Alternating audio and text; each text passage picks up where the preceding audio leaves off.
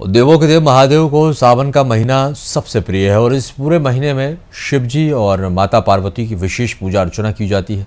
साथ ही विवाहित महिलाएँ अखंड सौभाग्य की प्राप्ति के लिए सावन सोमवार का व्रत करती हैं। धार्मिक मान्यता है कि ऐसा करने से, जातक को मनचाहे वर की प्राप्ति होती है।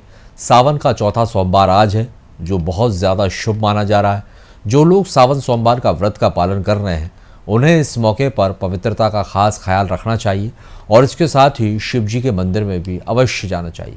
चलिए अब आपको मंदिरों में किस तरह का माहौल है? मध्य प्रदेश के उज्जैन में पवित्र सावन माह के चौथे सोमवार को महाकालेश्वर मंदिर में जलाभिषेक किया जा रहा है। वो आप पहली तस्वीर में देख रहे हैं। दूसरी तस्वीर असम के सुकेश्वर मंदिर में भक्तों का तांता लगा हुआ है। ग्वालियर के कोटेश्वर मंदिर में सुबह से ही भक्तों की लाइन लगी है।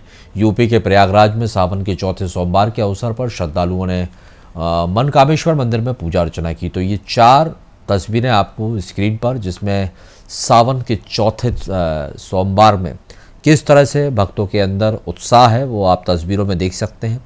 मंदिरों में लगातार सुबह से ही भक्त पहुँच रहे हैं। जलाभिषेक जो है वो शिवलिंग का किया जा रहा है और साथ ही भजन आरती का भी आयोजन किया जा रहा है।